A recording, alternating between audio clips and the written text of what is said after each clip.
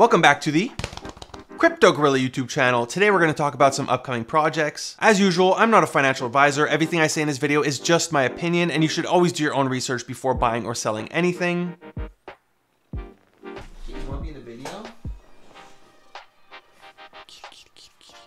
Also, you should be following me on Twitter because my cat said so and my cat never lies. She just wakes me up at 6 in the morning.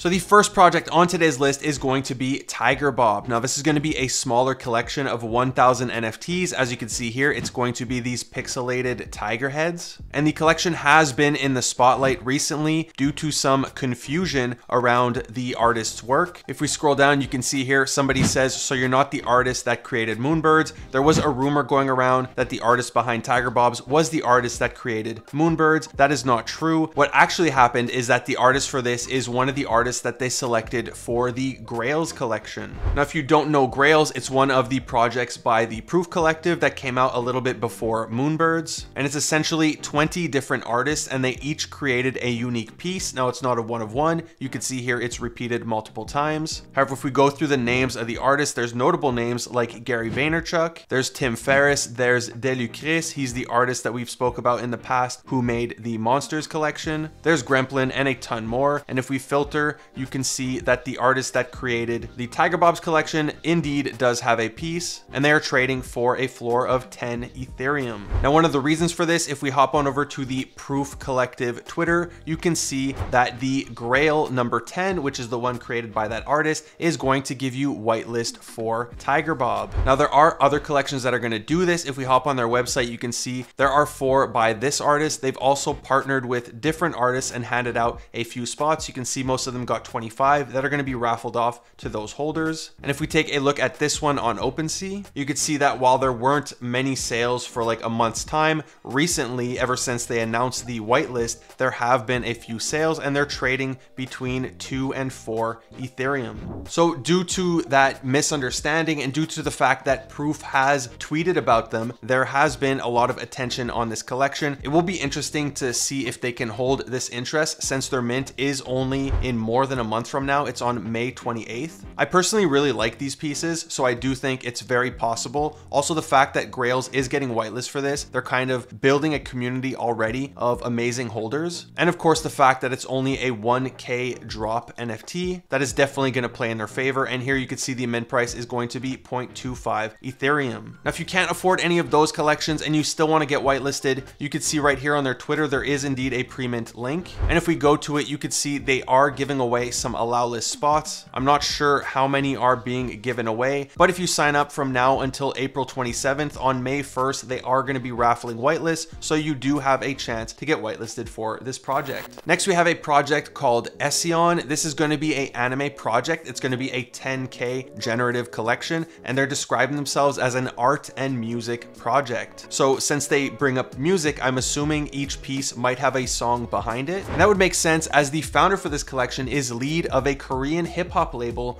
called Beautiful Noise. Now, one of the other names he goes by is going to be Pink Beanie Boy. You could see he's featured in a bunch of videos on YouTube. This is his channel. He has over 500,000 subscribers. The content is quite entertaining. You could see I watched a few videos. Uh, I didn't understand much as it's all in Korean. It's very different, but like I said, entertaining. As for the artists, they're also Korean. You could check them out on ArtStation. They make a bunch of different anime pieces, and I am a fan of their work. If we just scroll through this one, these pieces are quite nice.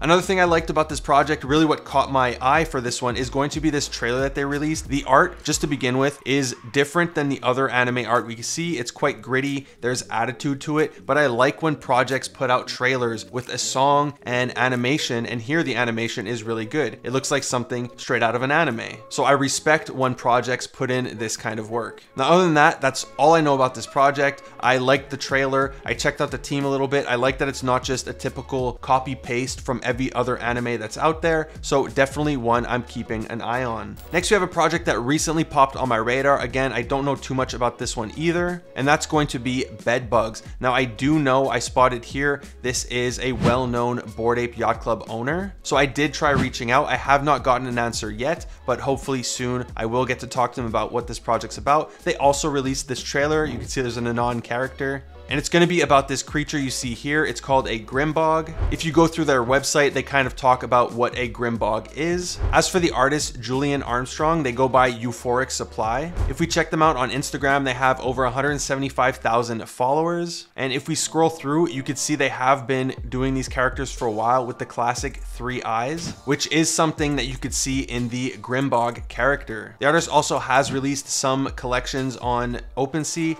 Here you could see there's this one and it has a floor of 0.75. There's also going to be the Euphoric World collection that has a floor of 0.35. And once again, you could see it's that same character with the three eyes. So other than that, there really isn't that much information. You do get to see who the team is, but there is no date, there is no price, and there is no roadmap yet for this collection. It is quite early, so it's just another one that I'm keeping on my radar. Next, two more projects that were brought to my attention. Again, these ones I have absolutely no information on. There's no team info, there's no website, nothing like that. It's just purely pictures. So I'm just bringing them to your attention. You can see here, I like this picture. I find it looks good, but like I said, there's no info, so we're gonna have to wait to find out more about it. And this one is gonna be called Rokoyo NFT. And the other one that was just brought to my attention is gonna be MoonLanderz. It is growing quite quickly. They're already at 5,000 followers. And all we have so far is just a little bit of art. These characters look really good. They kind of give me, I guess, Karafuru vibes. So this is another one that a few people have been sending to me and I'm definitely going to keep an eye on.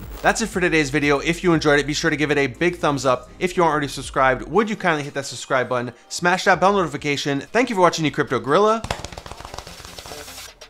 Peace.